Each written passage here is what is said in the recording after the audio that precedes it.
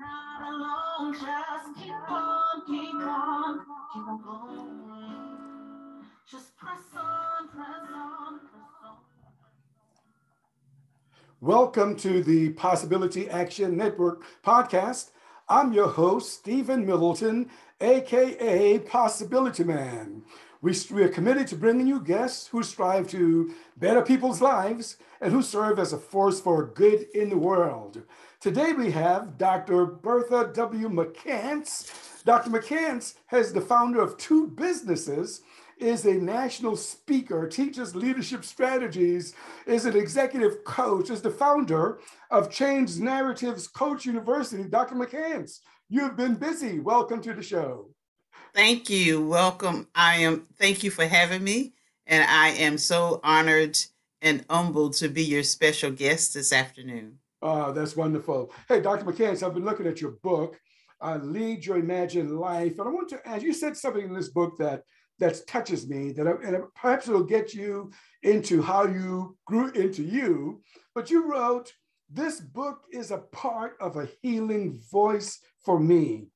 It's the story of Bertha, the little girl, the little six year old girl who had a vision. What, what are you trying to tell us? Wow. Yeah. Um, well, when I wrote that book, I was going through um, a career transition from K 12 education and um, just not knowing exactly what I was going to do. And um, just had so many emotions. So I decided to write it down. I've always liked to journal. And so I just decided to get all of my feelings out and on paper. So um, that book was a part of the me transitioning from teaching or being a part of the kindergarten through 12th grade educational system to becoming an entrepreneur educa- uh, educator. Didn't know what was possible, but I just had to um, to get my feelings out. That's so fantastic. It was very instrumental. That's fantastic. I want to go deep into that because mm-hmm. as I look at your bio, you grew up in rural Lee County, South Carolina. Uh, and of course, you went, you know, probably began your education at segregated schools. And then from mm-hmm. there, college, then teacher, and then principal, and then a superintendent in your county. How does a kid who grew up in the rural South do that? Can you walk us through, and you know, and also be earn a doctorate? Can you talk, walk us through that? Yes, actually, um, you're right. I did uh, begin my education in Lee County. I actually graduated from high school in Lee County, and I my first job as a teacher was actually out of state. Hmm. But the goal was always to come back home to help um, improve, increase, enhance the educational system in my own county. So I will say that each move back, because when I moved back to South Carolina after teaching in Georgia, I came back and I taught in a neighboring district, but I moved back to my county, Lee County, and each move was a decrease in salary. And um, I don't think I've ever put that out there, but um, oh. I I wanted to be a part of the change there. I knew that I just believed that I could make a difference. I always wanted to be a teacher um, you know, as I've said several times on other um, outlets, that I wanted to be a teacher since I was six years old. So that's where that statement in the book came from. Mm-hmm. Was little girl who was six years old always saw, you know, that there was something bigger in people. You know, I always had a desire to help and an desire a desire to teach and so when I did decide to become a teacher, I wanted to teach in my district. Um, and I did. And um, then went on into administration, you know, as an assistant principal and as a principal in my district. And um, so when I was in the principalship, I left and I went to the district office and um, got an opportunity to become an assistant superintendent. When my assistant superintendent um, was leaving to become an, a superintendent, she asked me to join her and be a part of her team. So I became an assistant superintendent in another district and got to, um, you know, work on both sides as um, a couple of years as a curriculum and instructional superintendent, and had the honor to um, work in human resources. And a part of that was a part of my um, areas of responsibilities there was professional development. Hmm. I always saw professional development as a way to make changes. And so we use that platform to um, to bring in trainings for every level of staff members within the district. And that's when I started also, well, may have started before then. I started um, just presenting at conferences and I just saw that trainings well the, your show is the poss- is possibilities and I always just think that anything is possible. If you're willing to take massive actions and put in the work, anything is possible. So I saw training as a way to make those possibilities a reality. And then went on to work at the um, at the Department of Education on the state level, um, helping principals, mentoring principals across the state, and then um, got the opportunity to become a superintendent and that's when I left education. I retired after um, a year of being interim and six years as being a superintendent. Uh-huh. That's fantastic. Now, okay, so let me get this. You could have, you know, you know teacher, uh, principal, superintendent, both at the state level, local level. You could have simply simply get your rocker.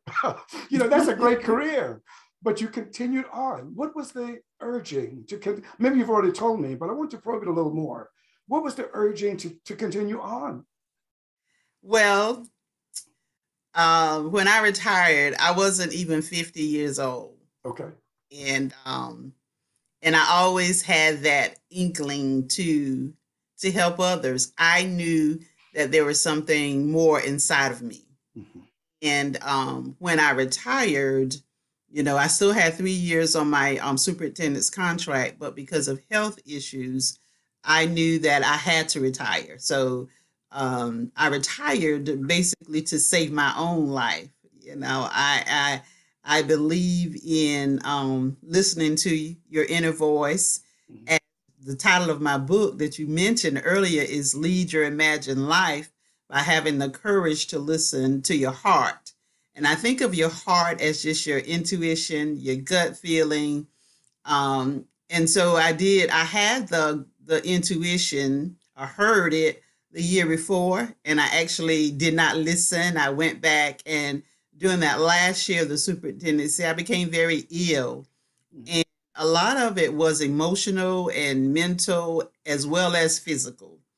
And um, so when I retired, during that time i had i had you know downtime i had time to heal my physical body and just to heal my mind then i start i wrote the book and i realized that with my desire to help others i didn't have to do it from the traditional k-12 platform mm-hmm. so i researched and i found out that i could still teach online so wow. that's I um, decided to lean on professional development mm-hmm. to create this possibility in my life of being an online educator. So that's where it started. It started because of me when I left K 12 education, having that downtime just to reflect and reconnect with that little girl and my and my own um my own inner self to understand that just because I wasn't teaching or affecting change in K 12, I could still impact and um, affect change in people's lives. And I decided to do it worldwide and not just within the confines of a district in which I was working in. That's fantastic, Dr. B. And I tell you, I I love your ability to be transparent. You know, you mentioned your health. Um, so, and I want to ask you because a lot of people out here are transparent. you know, they're, mm-hmm. they just aren't. Where mm-hmm. did that that um, that that ability, that temperament, to just open up with the public and say, you know, I had health issues that I had needed to needed to address. I mean, where does that come from for you? Has it always been there? This this openness, this transparency? Um, you know, that's a great question, Dr. Middleton. Um, I don't know if it's always been there, honestly.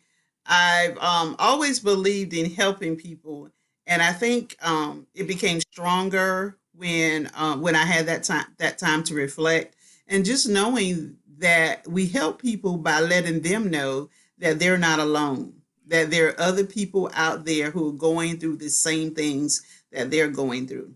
And I share my story more so now. And, you know, I've started sharing the story from poverty to K 12 superintendent to educational entrepreneur because when you just say that you were superintendent and then an entrepreneur, and I really share you know how to be a profitable entrepreneur not just to be in business to be in business.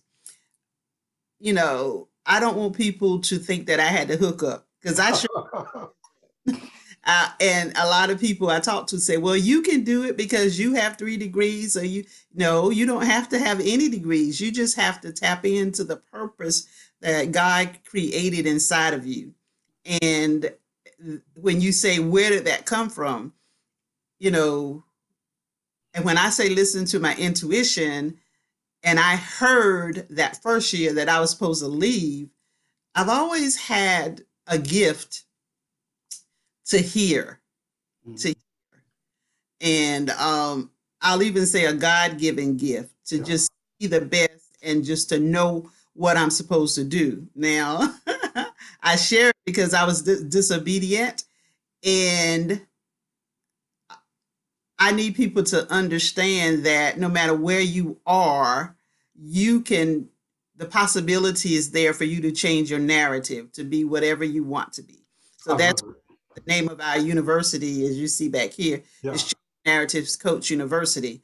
I share it because, you know, sometimes you can be untouchable. Like people think, oh, you just got it like that. And you, you were a superintendent and yeah, you can do it. No, I still had to work extremely hard in the entrepreneurial world to um, for my story to evolve.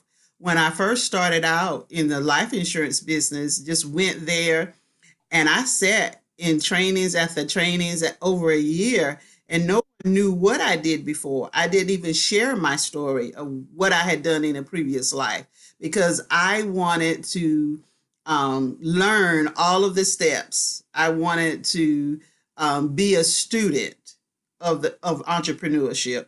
And then when I decided to take it from life insurance and online, I did the same thing. So mentorship and coaching has been my vehicle for change. But going back to the, your question on transparency, I believe in telling my story so that people will understand that it doesn't happen overnight. Yeah you can change your narrative. Anything is possible. You can go where you want to go. And I believe that there should be no judgment zones. It's like, mm-hmm. you know, there's no judgment. We all start where we are. Just start where you are. Pick up. The biggest thing is what happens here. Your mindset. I love it, Dr. B. Said that I can do it, then that's the biggest thing. So I want people to know that if I did it, then you could do it too. But if I never share my story and if I'm not transparent, then we keep a lot of people in the darkness in darkness. So I want to give hope. I want to spread hope. Wow, sounds like you are an associate in the Possibility Action Network. But you know, uh, what I love about what you've just shared, Dr. B, is that one can tell a story as a cup of sorrow mm-hmm. you know, or one can share a story in service. And what I hear you say is that you share your story in service to others as a way to inspire them to see their possibilities. That's that's brilliant. But I want to go. Now you're an educator. I'm a former educator as well. And educators typically are not entrepreneurs. So can you identify, maybe you've already told us, when you were touched by this entrepreneurial bug that you knew, you know, of course you're still a teacher, but it's also entrepreneurship. Can you identify that moment and how that evolved for you? Mm-hmm. Yes. Um, it evolved, the entrepreneurial bug evolved the moment that I got my life insurance license. Mm-hmm. Okay. Um, during my transition into retirement, mm-hmm. Just some, you know, some business that needed to be settled. And um, what I realized is that in retirement from the state, you could take your health insurance, this health insurance, um, at the same rate that you were paying but for the life insurance, um, it actually the rate tripled what I was paying as a full time um, school district employee. It tripled. So I had to find another method. And as I was researching, I realized, you know, I've allowed a lot of life insurance producers to come into the district and talk to staff, but I realized I didn't know very much about it. And as I was talking with one of my colleagues who I had worked with for a while in the life insurance industry, he actually, um, to be honest, he was interested in my husband coming on and joining his team because my husband was already in sales. So in my mind, I kept saying, why is he saying that? I had no idea that that was connected to sales. Mm-hmm. So, um, I went to life insurance school. So I asked him, I said, Well, how you're asking my husband, well, how do I do it? I want to learn more about it. I want to learn more about the business because I think that more people who are retiring need to know. Because, you know, I always thought that I, as an educator, I just believe in educating people to avoid them from, you know, circumstances, issues, pitfalls, hardships that I may have gone, might have gone through. So I went to life insurance school um, Monday through Monday through Thursday. It was a eight eight to five, and so I registered to take the the exam because it was it was the same process as becoming a certified teacher. So you had to become licensed so I be- I took it that Friday and I became licensed. It, your score comes up immediately whether you pass. So I called him and he said, "You pass?" I said, "Yes." and so I started going to meetings um, with him. Same thing as a, as an educator in the school system. Once you get your license, you still have to find a school to hire you. So in the industry, it's called appointment. So I was appointed by his company and then there was a company in my hometown that I saw all the time, never even knew it existed all of my years of living here, didn't know what it was about. And someone from Baltimore, Maryland, my one of my husband's friends from Baltimore called him and said, well, told him that his wife was newly certified. He said, Well, oh, well, you all are you you all are at the headquarters. You know, your town is the headquarters. This is a multi-million dollar company right there in your town. So one day I went by and talked with someone, and um, when I was talk- when I talked to them, they invited me to come to meetings, and I looked at their system first, came to what we called an opportunity meeting, and listened. And the president of that area, well, actually, they call them directors of the southeast area of six states, was a teacher. Hmm. So of course that struck me. And then when I went to the meetings and I started learning about, uh, you know, I went ahead and um, uh, became appointed with them. So when I went to the meetings, and learning about sales and learning about the possibilities of passive income um, was just foreign to me as an educator. So the entrepreneur bug, ooh, I just kept swelling and swelling. right. that's you know how you, you get bitten and it's just a little um a little bump. So it kept growing and growing and growing. And so I learned the system. I actually was, you know, I, I'll tell, you know, agents all the time that, you know, don't look at where I am now. I took the time to learn. So every Friday morning I was sitting in a class. Monday through Thursday, I was going down dirt roads. I and I didn't do the online sales at that time. I was knocking on doors and and talking to people and actually educating them, educating them on the benefits of life insurance coverage. I, was, I went into schools and educate them and told them my perspective from an educator and also went into senior citizens, the daycare centers to tell them about the benefits. So I, I've always been educating, but just from different platforms.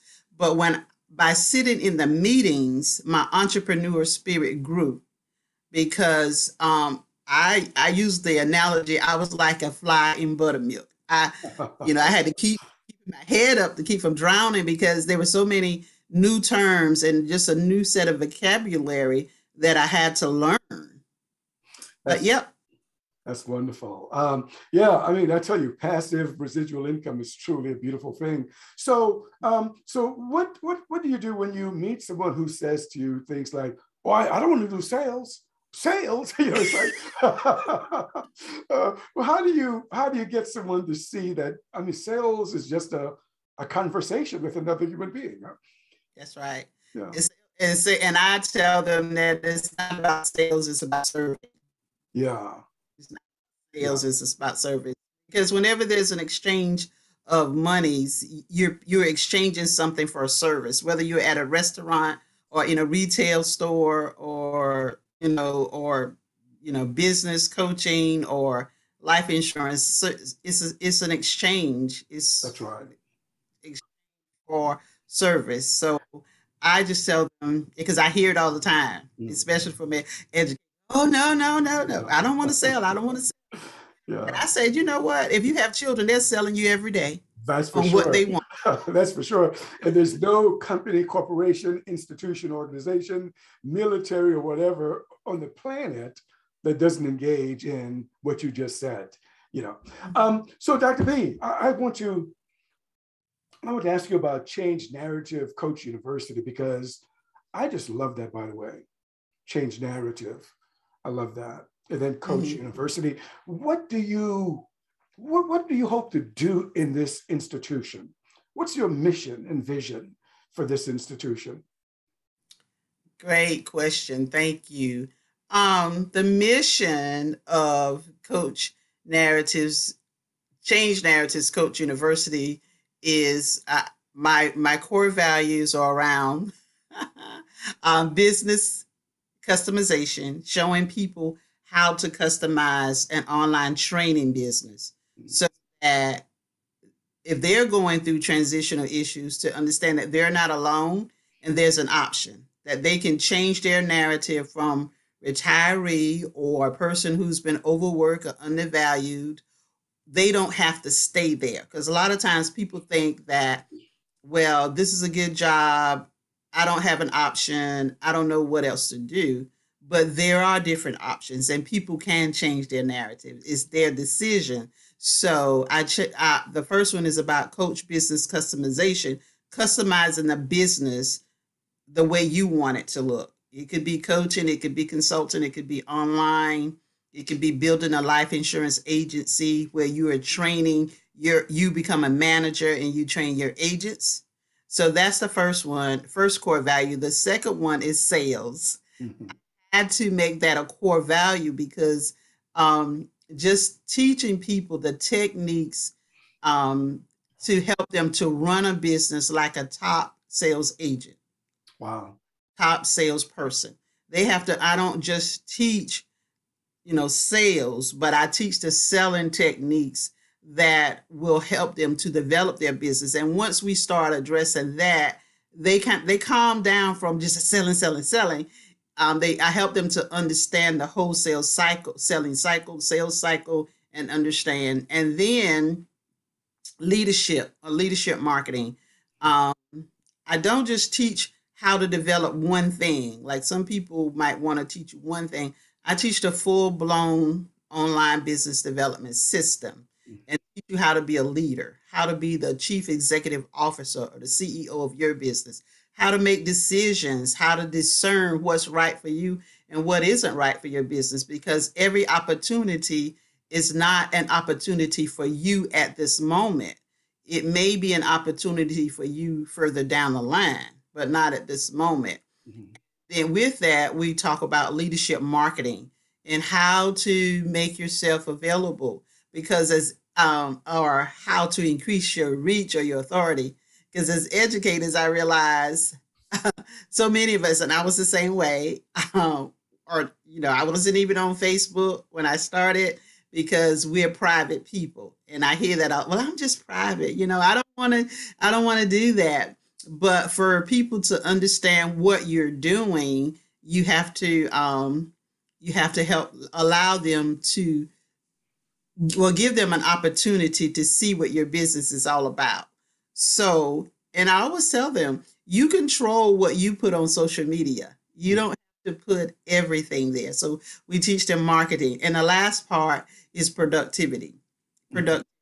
Because you know it's just about being effective and efficient. And you can do a whole lot of things but if you're not being effective in any of those things Mhm. you're wasting your time and you'll never be successful so we we help them to understand how do you create a balance between personal and professional lives as well as creating the flexibility where you're not just so stark stark on one thing that you can't enjoy the business or you just so focus on the business that you can't enjoy the personal lives. So my core values again are sales i mean coach sales leadership and productivity and I want people to understand that if you're in a situation that you don't need want to be in, or if you want to scale your business Mm. or enhance it, you can change your narrative.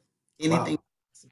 That's beautiful. I know you've mentioned marketing. I'm gonna, I gotta ask you this. Is there a secret sauce to generating leads? Or is it just a lot of activity? Is, you know, lead generation seems to be something that a lot of businesses sometimes even stall because it's, uh, it's not a, well, it's not in self-intuitive, you know, so. I think that the the for me, I think the secret sauce is having a consistent plan. Uh-huh. So different people will do different things because if you are a brick and mortar building, you may want to do different things, or if you online, you're different in what you, and then the audience that you want to attract determines the type of leads that you want Mhm. Um, to attract too Because I remember when I first started with business development, my mentors would always say, "You need to go where your you need to go where your leads hang out," and I kept saying, "Well, hang out." So wherever, whatever the business that you're in, you need to know: is it TV commercials? Is it newspapers?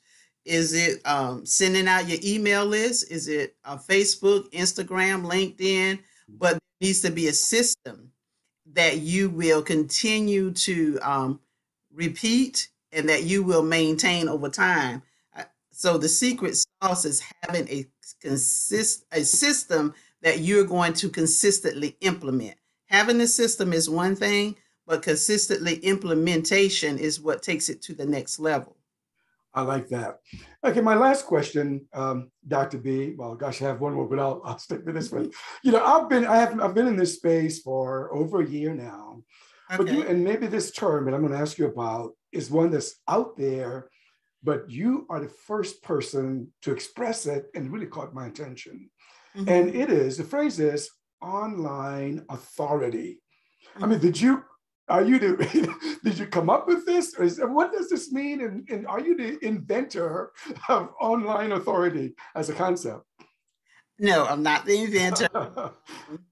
Actually, um, one of my mentors was from England, And he was the first one that um, I remember going through authority uh, and awareness, just making sure that you are and and giving some techniques of how do you make yourself an authority in your market? How do you make it? Because before then i wasn't even telling people you know i wanted to teach people but i wasn't sharing that i had been a teacher or that i had been a principal or that i'd been a superintendent or any of that.